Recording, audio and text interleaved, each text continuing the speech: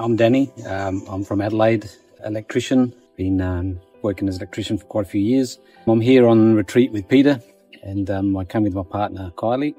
It was I've been working with Peter a little bit, um, just on his Sunday meditations uh, online, um, probably for about three or four months, I think, every Sunday. So um, really been enjoying them. I met Peter just briefly, really about 12 months ago at another get together. And um, he mentioned that he's got a retreat coming. That was obviously a year, about a year later. And um, I decided there and then that something that I was interested in and I wanted to do. And I felt a connection with Peter as soon as I met with him on that day. And um, yeah, we basically decided that we were going to do it straight away. So there was, I guess there was not much time. We didn't think or hesitate or anything about it. So um, yeah, was, re- it was really it was almost like something that I knew I needed to do, but I didn't know I needed to do until it presented itself. And it's one of those moments where it, something presents itself and uh, I took it on without any hesitation. I think the thing that I've been looking for is some, um, you know, what everyone looks for, a bit of peace of mind. Um, obviously things happen in life and I'm no different. Uh, so I was just looking for different ways to deal with that and to, to come with some peace, some inner peace. And, uh, on the retreat with Peter, um, I've found that. I think it's it's early stages for me, but through his teachings have been fantastic.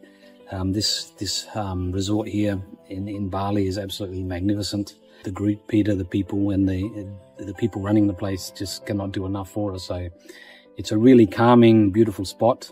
Meditating with Peter and and being um, directed by Peter, it's really hit the spot for me, and I've and I've been able to understand and um, take on board what he's been saying. It's been put forward in a really easy manner for me to understand.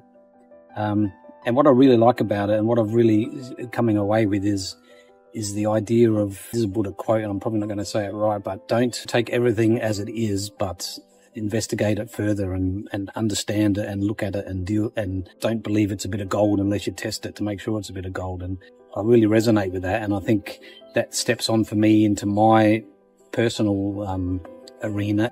I'm starting in the last four or five days, starting to question my inner self much more. And I think that's starting to open myself up to me. So I'm really excited about that and, and really thankful for Peter. A lot of gratitude for, for, for taking me to that place. What I was hoping to get out of it, I wasn't, I didn't come in with any expectations. Um, that's what I was looking for, and um, yeah, certainly that's what I found. Uh, it's worked really great, uh, along with Peter's mindset work, the yoga that we've been doing a couple of times a day as well. I think the combination is, is really nice. I'm a big shout out to Peter and um, his team. I'm coming as a beginner, so maybe it's all uh, new, but if you just come bound to get um, something out of it, it may not be what you're expecting, but if you come open minded and follow the process and the steps and the teachings, it'll change your life. So I'm, I'm really grateful. So thank you very much, Peter.